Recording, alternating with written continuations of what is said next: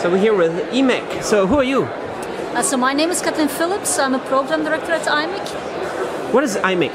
IMEC is a non-for-profit research institute. So we work with uh, companies across the world. And where are you based? We're based in, in Belgium and Netherlands. And like 95% of our income is coming from bilateral partnerships with industry, where we do research on um, these days, especially the IoT uh, applications, so the low power technologies that you need for communication and sensing. So here's uh, on, on the wall you're showing uh, cloud computing, data analytics, uh, heterogeneous net networking, lots of different stuff. Yeah. Wireless sensor network platform. Is this what you do? What do you Yes, what do you do with this? It's at the heart of what we do. So I would say traditionally we've been focusing on the sensor nodes and making them lower power, uh, longer battery lifetimes. Uh, so we've been uh, designing a few radio modules, like the 4 gigahertz one is, still world's lowest power uh, protocol energy device. So it's BTLE. It's a multi-standard BTLE, uh, ZigBee, and proprietary mode. And over there we have a long-range uh, sub-gigahertz uh, variant. So that's more for the outdoor. And you design on TSMC. Do you use ARM processors in there? We use ARM processors in there. What It's- kind of use, CPU you have? Uh, so it has M0 Plus and M3. That is, is the type of processor that we use in, inside. So low power?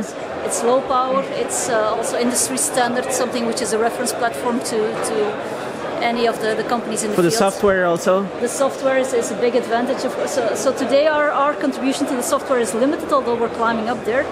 Uh, but it's very important for the um, for our customers that we use industry reference platforms. In fact, like uh, arguments of, of let's say in limited efforts on software porting is an important one there. So they want Right. to stick to processors that they know, and on top of that, they want to have the state-of-the-art technology. So what are you showing here at the at the show? The, what's what's what's this? Uh, so this movie is basically um, showing the potential of our ion sensor. So that is a very low-cost printed technology where you can do pH sensing and various ions. Uh, So it's liquids. printed? It's a printed technology. It's a printed for ions. It's also biocompatible, so so well fit for food monitoring. Uh, it can also be used for dehydration monitoring. It's bendable, so you can also uh, like stick it on the skin. We have uh, plasters uh, as for as uh. Is this real or is just uh, samples uh, testing? What is this? These ones are, are uh, real samples, so, so you can connect them to a wireless readout, and then you can read out the pH of any solution, milk, uh, water, uh, whatever you have doubts on. So printed electronics is a big part of IoT in the future.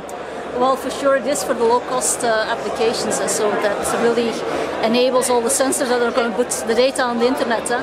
So IoT is about connected things, but first of all you need to have low-cost. So how, uh, how far is IoT? I mean, uh, there is IoT already, and there is lots of IoT in the future. What is uh, what is going on in the industry?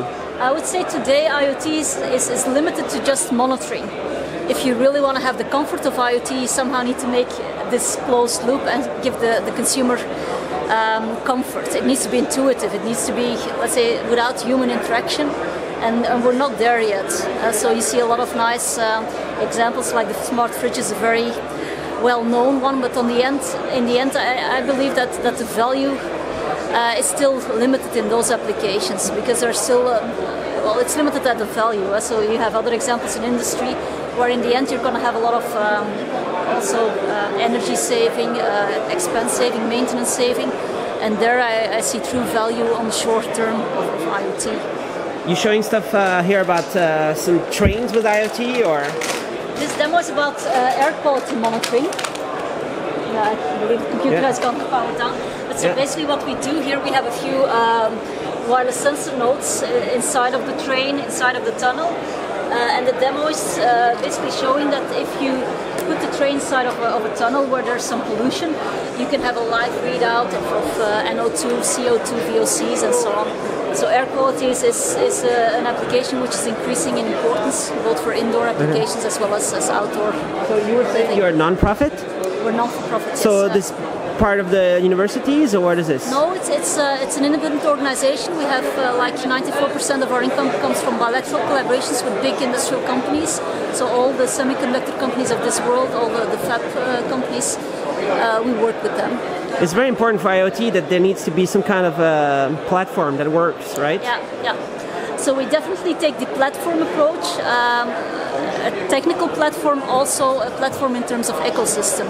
So IMEC works with hundreds of companies in this space and also acting there as a neutral uh, partner that brings together both uh, IDMs, OEMs, uh, semis, um, research institutes. So we really are a link between academia, industry, and, and various uh, partners in the ecosystem. So how many people on IMEC?